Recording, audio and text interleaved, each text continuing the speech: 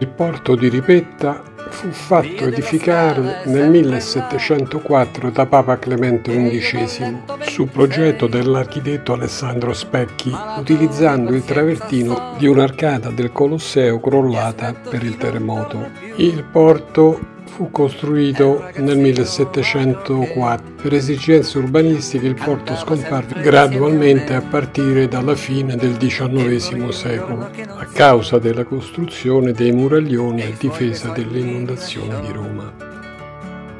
E Biancaneve ancora là, è un po' invecchiata ma che fa? Le mele non le mangia più i ragazzi del bar. Ricordo tanto tempo fa, veniva a scuola insieme a me. Progetto di ponte monumentale non realizzato per unire Ripetta con Prati. Porto di tipo boromignano con una splendida architettura e ripresa per la scalinata di Trinità di Monti si apriva scenograficamente ed inaspettatamente sul fiume con la sua sagoma ondulata tra le quinte delle case.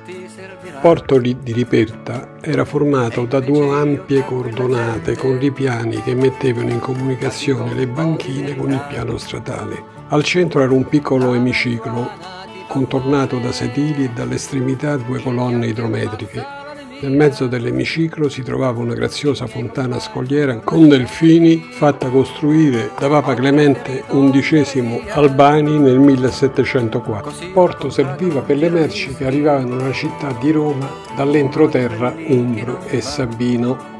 Le vicende del papato e dei suoi rapporti con Napoleone Bonaparte legano per sempre la storia di Savona con il Papa Pio VII che si trova prigioniero nelle città dal 1809 ai primi mesi del 1813. A tutti ho dato un po' qualcosa, con tanta generosità. A lei, mia madre, i dispiaceri, mentre a mia moglie dei bambini. Al primo amore i sentimenti Ponte di barche sul Tevere a Ripetta per il ritorno di Pio VII, 24 maggio 1814. Ponte di Ripetta verso la chiesa di San Rocco. Ti sento invece non ci sei. Di Ripetta visto dalla passeggiata di Ripetta.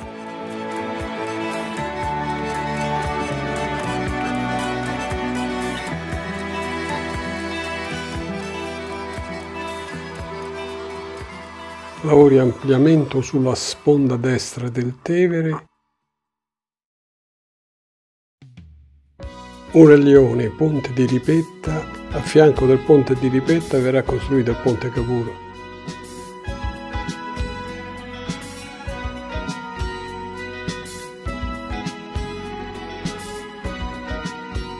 Ponte Capur e Ponte Ripetta nel breve periodo di coesistenza.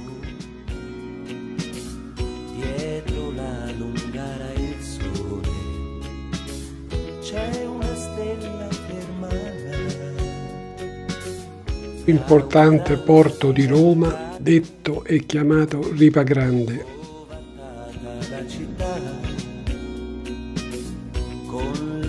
Il porto di Ripa Grande era il più grande di Roma, molto meno monumentale di quello di Ripetta. Al porto di Ripa Grande approdavano tutte le merci provenienti dall'approdo di Fiumicino.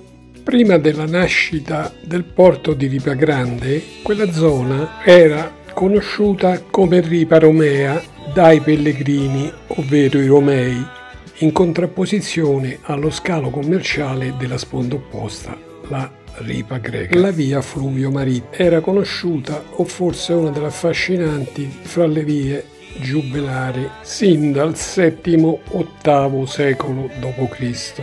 I pellegrini provenienti dalla Provenza evitavano a volte la via di terra per sfuggire alla rapacità dei Longobardi o soltanto dalle bande di briganti.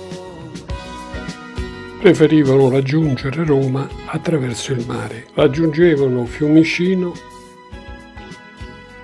e da qui, lambendo Ostia Antica, risalivano il Tevere fino alla ripa dei Romei. Una volta raggiunto Trastevere, i pellegrini si dirigevano verso la Basilica di San Pietro percorrendo l'asse viario costituito dalle attuali Via della Lungaretta, Via della Scala via della Lungara, Porta Santo Spirito.